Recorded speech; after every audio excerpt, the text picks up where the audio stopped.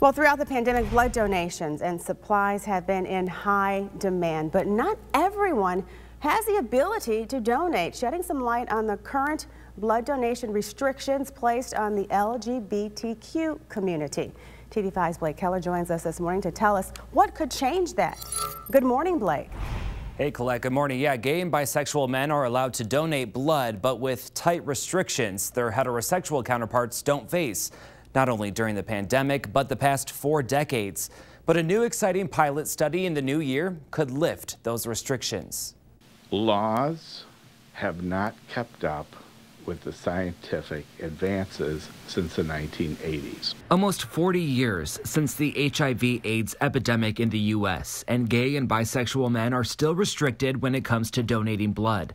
Tom Brubaker is an HIV AIDS advocate at Sacred Heart in Saginaw. I don't think any group should be discriminated uh, based upon sexual orientation. Due to the pandemic and a severe shortage of blood donations, in April, the FDA changed restrictions.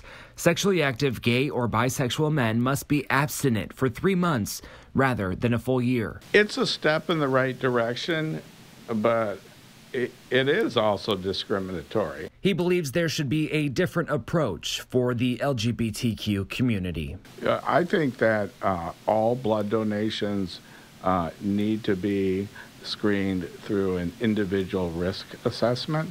That's exactly what the FDA is going to look at in a new pilot study in the new year, which could eliminate the ban altogether. I think that'll that helps reduce the stigma. There's so much stigma they need to be updated. And so I'm really, I'm very glad to see the FDA is going to engage in this pilot project.